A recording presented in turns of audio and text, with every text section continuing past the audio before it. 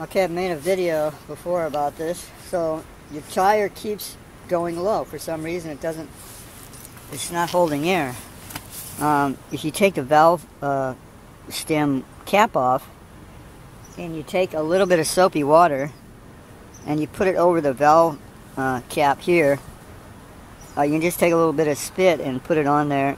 And if it starts to bubble, then you know this valve core is leaking.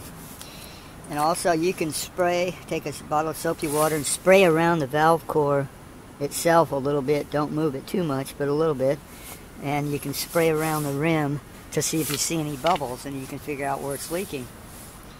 In this case, it took me a while to figure it out, but I finally stopped at this point and then I saw this nail in here.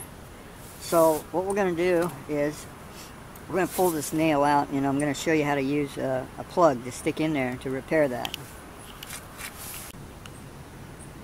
And here are some things you might need for the job. I picked up this, uh, it's a set, it's a complete set. It's basically the reamer, the glue, pliers to pull the uh, nail out, and then the plugs. And then this is the inserter where you insert the plugs in. Now you don't have to, but you can put it up on a jack like, like I've done so you can adjust the wheel to where you want it. And uh, so first thing we need to do is, ideally you want to clean the area a little bit, but you don't necessarily have to because the reamer, and you can use a small drill to go in there and ream it out, but we're going to do this fast so we don't lose a lot of air. So what I'm going to do is I'm going to pull it, I'm going to get the plug insertion ready. I'm going to group the, uh, the plug and then go from there.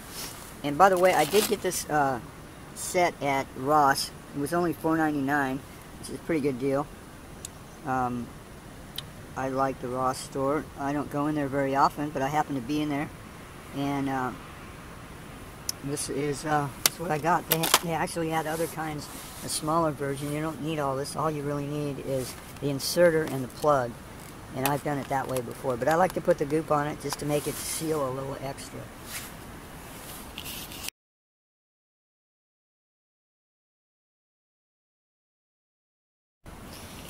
Okay, I've got the, uh, the plug on the uh, inserter.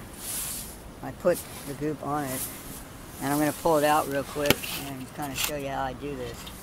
Basically, you want to grab something you can pull these out with. that's it. I feel it wasn't too big. And then we just insert it and actually lower the tire.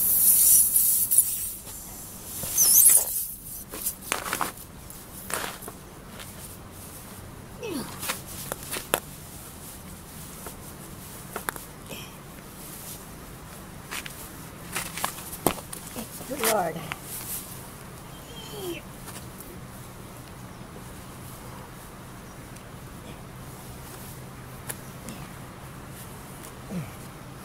Not a big hole, but it's big enough. So get it in about that far, and then sort of gently pull it out so we can cut it off. So that's basically it you can see there's a little split here so that it comes out. And so that's basically it right there. And then what we could do is, actually you want to take like a, a razor blade, cut off the excess. But uh, I'm going to let it dry a little bit before I start cutting it off. And this knife is not the sharpest knife, so I'm just going to let that dry. And uh, so that's your quick fix tire fix quick tire fix with the Ross 14 piece tire repair kit. So there's the instructions. Uh, they're, they're asking you to ream it out with this, um, but I, I don't ream it out, uh, and I've had success for it with it. I mean, if it's a gnarly old cut, you might want to ream it out if you got dirt in it or something. But, uh,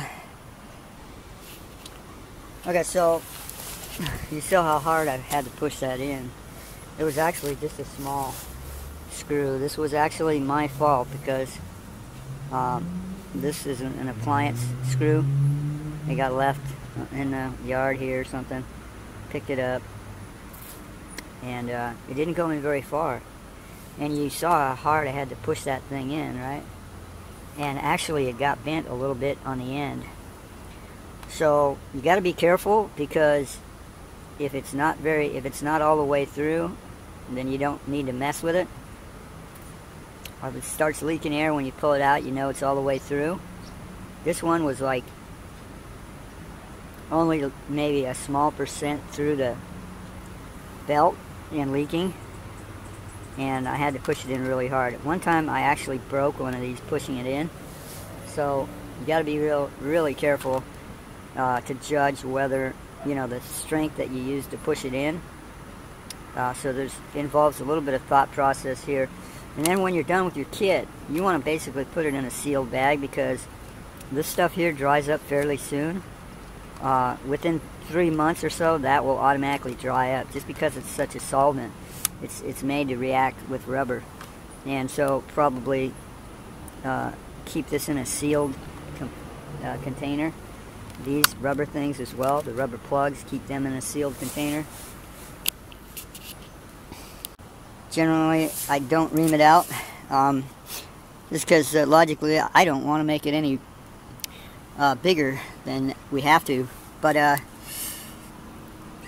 they say you should ream it out to keep it, to have it clean. So that's, you know, that's their explanation. So thanks again for watching, guys. Stay safe.